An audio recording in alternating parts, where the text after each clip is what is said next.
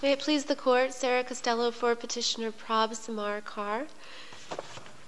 Here, the court should find that the BIA's decision in this case um, that Ms. Sirmar did not suffer past persecution is wrongly decided. Ms. Sirmar was detained, beaten, threatened with rape by the Indian police, all, account, all on account of her familial relationship with her brother and his imputed political opinion. Um, the BIA's finding that Ms. Sirmar did not suffer past persecution is simply not supported by substantial evidence. Um, in this decision, the board found Ms. Sirmar credible this court has found that absent an explicit adverse credibility finding, a witness's testimony must be accepted as true. This is also a pre Real ID Act case, meaning that corroboration is not necessary. Uh, is your client eligible for the new relief granted by the deferred action by chance? Your Honor, uh, my client does have a child, a U.S. citizen child.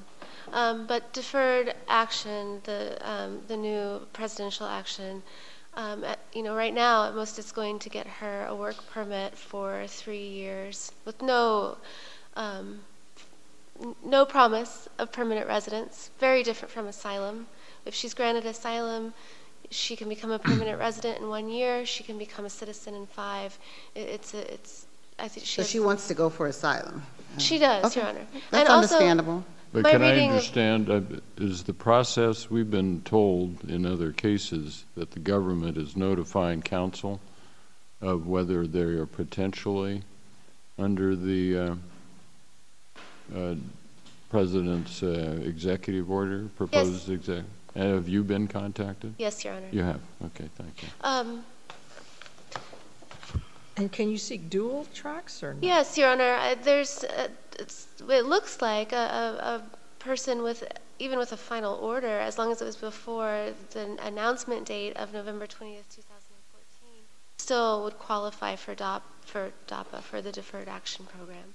So going forward with the, this claim doesn't in any way prejudice my client's ability to um, receive DAPA, but not going forward with it would prejudice her ability to ever become, you know, in a concrete way, a permanent resident or a citizen.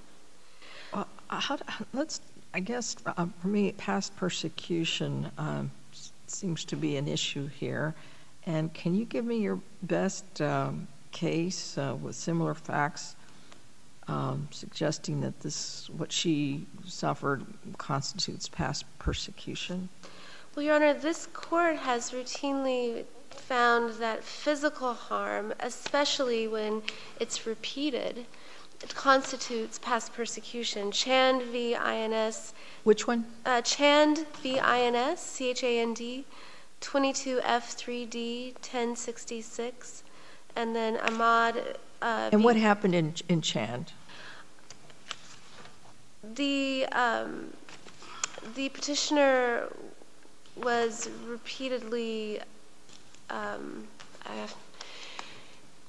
repeatedly beaten, um, just as Miss Sirmar was repeatedly beaten. How, how, Go ahead. I'm sorry, just over, because was, it, uh, was she really beaten over a night period? Is that what it was, over one evening period? She was detained for? She was detained, she was slapped, she was threatened with guns. She was, yeah. Threatened with rape, threatened, threatened with rape. with rape. I just, I've seen, seen a number of cases. I, I just don't know if this reaches the mark. I'm, I'll look at Chand, but I'm curious to see what happened there to see if it's sufficiently similar. Absolutely, Your Honor. And I think this court has also found that rape, I mean, obviously rape, threats of rape. Actual rape. Actual, actual rape. Um, yeah. But the, the board in this case completely ignores the psychological consequence of being threatened with rape. So, Detained. what's the case that talks about the psychological consequence, if that's what you're equating? Your Honor, I do not have that case before me. Oh, I'm so sorry. I do. Um, Mashiri v. Ashcroft, 383 F3D 1112 talks about how psychological harm can also be found to be past persecution. And now, certainly, did she, did she testify about the psychological harm that she endured during this incident? She testified about what happened to her, um, but importantly, there was a psychological evaluation that specifically talked about and addressed her psychological harm and diagnosed her with PTSD. It, it, it makes sense that somebody who was diagnosed with PTSD and a survivor of torture would, would maybe not be able to completely explain what the, their feelings and what they've gone through before Did she judge. exhaust that before the BIA and IJ, the psychological harm? I don't know that she did. She did um, argue that she suffered past persecution, and for exhaustion, there's no requirement that the argument be framed in exactly the same way. As Well, but there has to be an opportunity for the agency to rule on the issue um, of the psychological harm. And if the agency is not given the opportunity to rule on the issue, then it's not fairly presented for us to, uh, to rule on it. if that's the court's finding, then I would ask that it be remanded. Well, that's just my observation. I'm, I'm just curious as to how we could review an issue that was not raised before the BIA such that the BIA could um, rule on it. Well, as I said, the doctrine of exhaustion should be appro- applied broadly, particularly in the case of an asylum seeker who has documented proof of suffering these horrible things. Um, also, the the IJ and the board completely ignored the psychological evaluation. Um, they Sorry, I didn't hear they, they um, completely ignored the psychological evaluation and the the other facts contained in that evaluation. In doing so, they they violated this res- petitioner's right to due process. She has the right to a fundamentally fair hearing where she can present expert witnesses. She can um, present all of the testimony that that is relevant to her case. And here, because they never allowed, they never considered the psychological evaluation, she was essentially deprived of that right. Counsel, did you um, cite the Chand case and the Mashiri case in your brief? We did, Your Honor. yeah. Could you talk about the changed country conditions? Certainly, Your Honor. So, the thing to understand here is that the the alleged change is not individualized, nor is it fundamental. Um, the issue paper that the board cites talks about general conditions for Sikhs. It does not address um, the, the condition for people like Ms. Sirmar, who are relatives of political activists, who are women, who um, are maybe considered to be a dissident by the Indian government.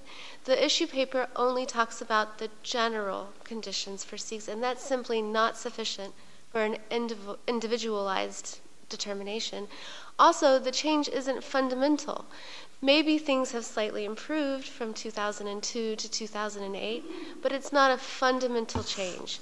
Just because there's a prime minister who's Sikh doesn't mean that the um, that the conditions for all Sikh activists are improved. Her political ground is that she's associated with her brother who was in the, well, the same party, wasn't it, of the prime minister?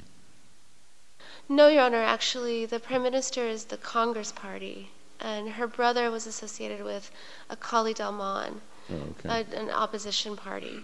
But Um, both uh, under the Sikh uh, religion um, having to do entity.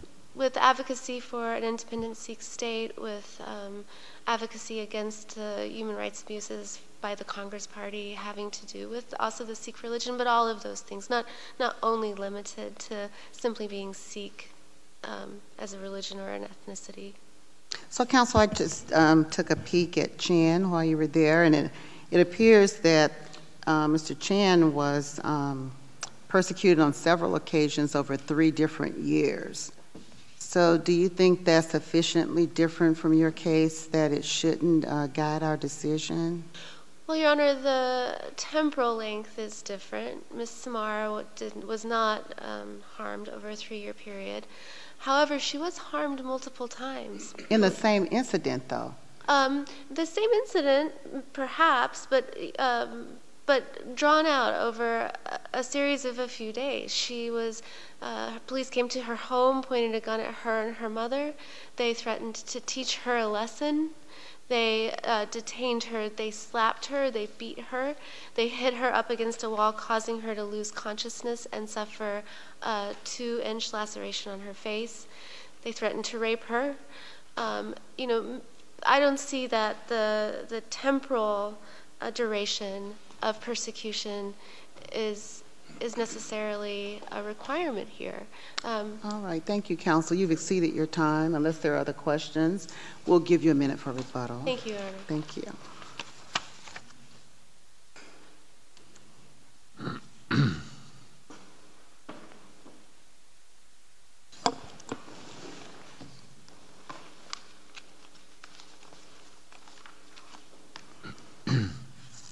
Good morning. May it please the court.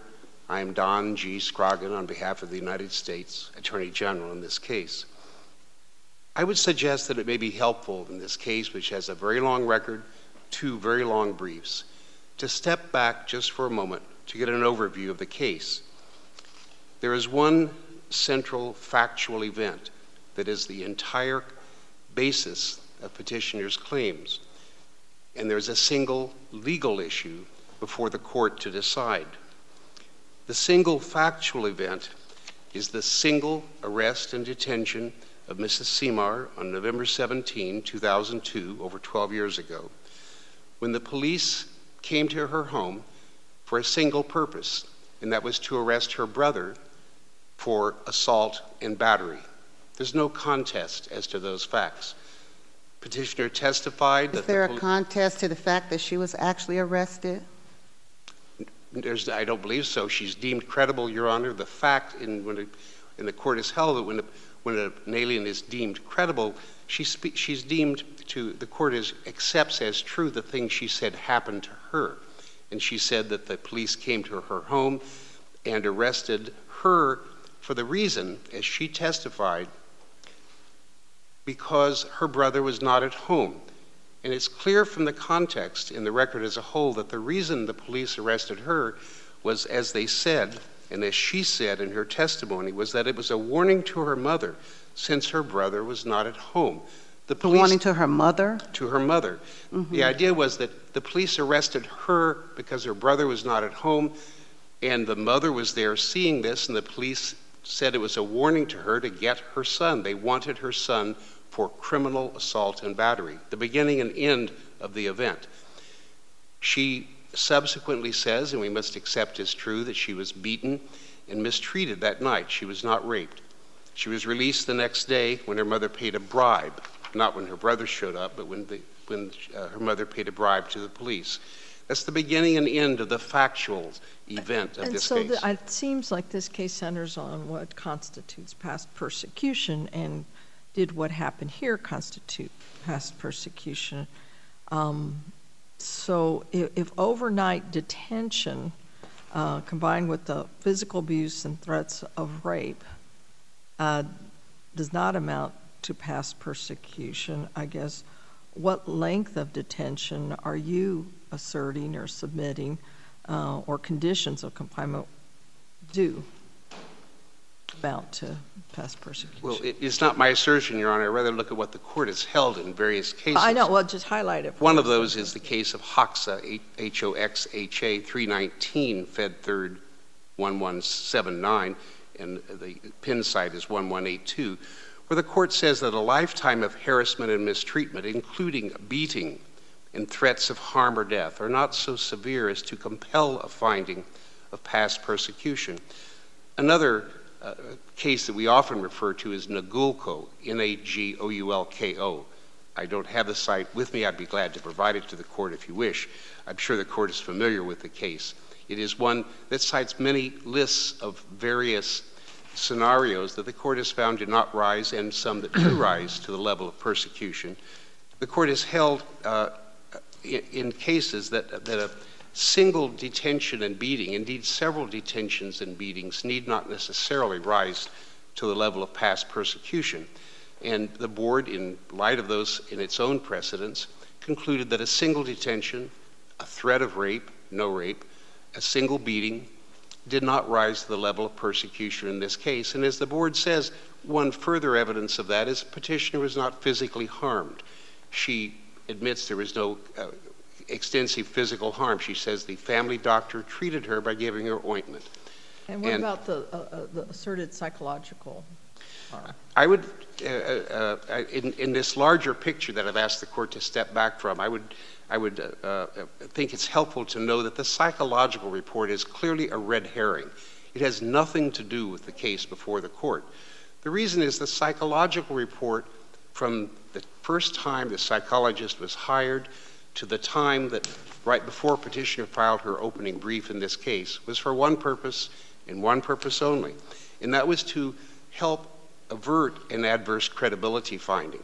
The psychologist was, was tasked with interviewing and determining whether or not petitioner was credible.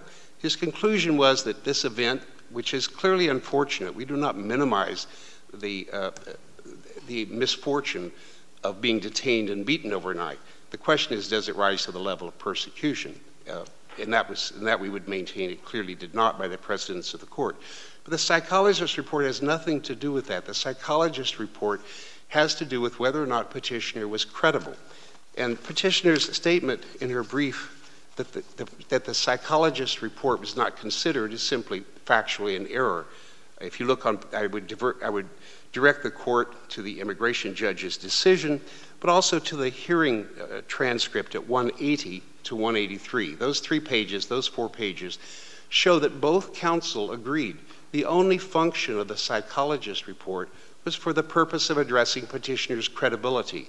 The immigration judge says, I don't think credibility is an issue in this case. I don't think I need to hear, therefore, from the psychologist as a witness.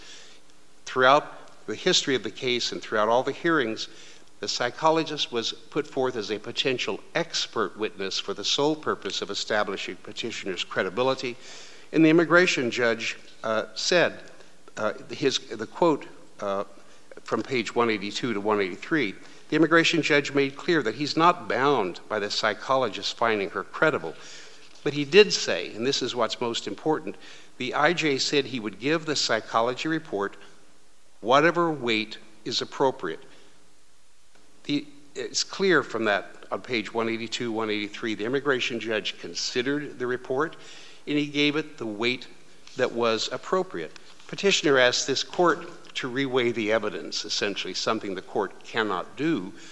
Uh, the, moreover, the reason it was the immigration judge did not dwell further on the, on the psychologist's report, and the reason I said it is a red herring, the immigration judge and the board, and this is critical to understanding this case, did not address credibility because they assumed petitioner was credible. All of the decisions of the immigration judge of merit and the, and the decisions of the board assume credibility. A credibility is off the table. And so the issue of the psychologist. I think we got the report. Can you address, uh, before your time runs out, the change country conditions? Yes, I can, Your Honor. The change country conditions, contrary to what uh, petitioner's brief maintains, uh, are specific and they are quite directly related. This court has held with respect to the changed country conditions that they must be uh, directly related and specifically. That is, the government rebutted any presumption of future harm by showing conditions had changed dramatically. In the 90s and before the 90s, the Sikhs and those supporting a new Sikh nation were persecuted, they were often killed.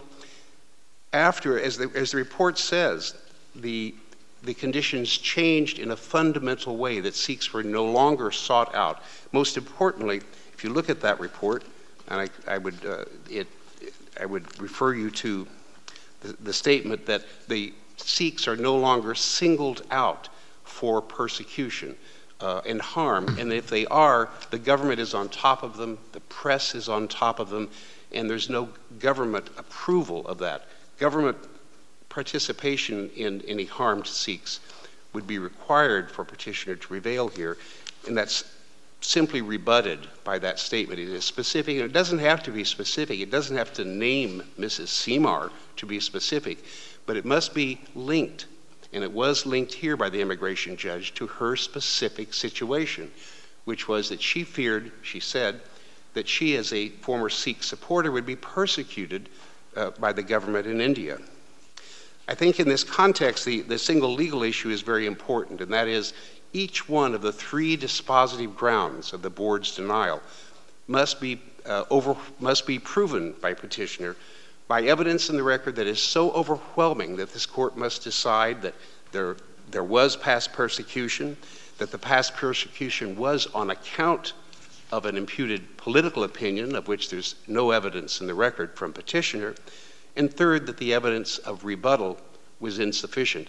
On each of those grounds, petitioner has asked the court to reweigh the evidence, perhaps in the hope that it might tip in petitioner's favor. That was the standard of review before the board, a preponderance of the evidence to tip one way or the other. Before this court, however, the standard of review is the reasonable adjudicator standard. The petitioner's burden before this court is to prove by evidence so overwhelming that no reasonable adjudicator could, uh, could possibly do anything other than reject the board's decisions. You won't be surprised, counsel, that we're quite familiar with the standard. I know you are. these I know you are.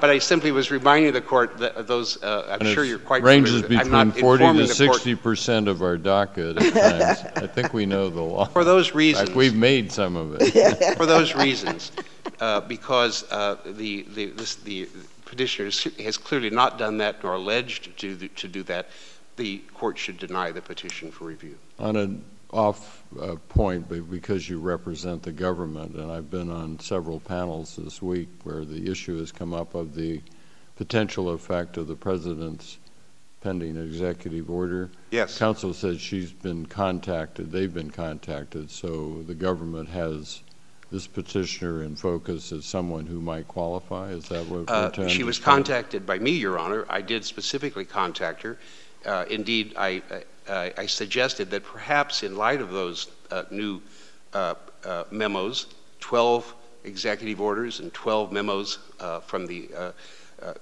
Department of Homeland Security, we have no guidance yet at the Department of Justice on how they will be implemented and whether or whether there would be any benefit to any particular alien or not. Here, in this case, however, we are, we are actively reviewing all our cases, including this one, to see if there might be some possibility of their applicability, and we will await further guidance ourselves. I contacted petitioner uh, for the purpose of suggesting that perhaps in light of that, since we have no guidance, but there might be eligibility, perhaps, that we might postpone this oral argument and wait, put the case in mediation until we had uh, further guidance. A petitioner declined that for the reasons she's explained. And we're happy, uh, therefore, to be here. We have a case for the court to decide, and uh, we would no, say that's, that's fine. a separate You've issue. My but we have pursued it. We says we have no guidance yet to implement them, but we are actively reviewing all our cases uh, for right. that purpose, and we Thank did you, so counsel. here. Rebuttal.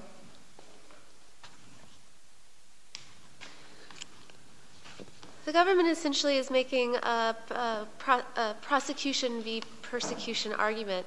Um, and it's important for the court to remember that this is a pre real ID case. The, the petitioner need only prove one central, or need not prove one central reason for the persecution. Also, it's apparent from the record that the police threatened her because she was uh, um, the sister of a political activist in the in the or or the sister of someone who was being sought for having committed a criminal act. But the police, when they came to get her, they said, um, "We will kill your whole family if you don't leave the party." That we are teaching you a lesson that you must remember forever. The police, their, their own words indicate that this was not just about a, a maybe legitimate prosecution of her brother for the fight with um, Ram Rana, but it was politically motivated. Also, Miss uh, Sirmar herself engaged in political activities. She was not a member of Akali Dal Mann, but she did accompany her brother to the rallies, and she was visible as, um, as a person who supported that party the government's point about Hoxha um, regarding um, Persecution. per- persecution is misplaced. Hoxha, the, the persecutor was not a, the government. The persecutor uh, was fellow were um, were uh, uh, Serbians not associated with the government. It's it's a very different situation when you have the government actually persecuting somebody. All right, Counsel, could you wrap up, please? You've exceeded Certainly. your time. Um, also, I want to say regarding changed country conditions that whatever happened in the 1990s is just simply not relevant for uh, what happened to Ms. Sirmar in, in 2002. And the and the fact is that the, the documents in the record do not show a fundamental and individualized change. Thank you. All right, thank you, counsel. Thank you to both counsel. The case just argued is submitted for decision by the court. The next case on calendar for argument is Tarango versus McDaniel.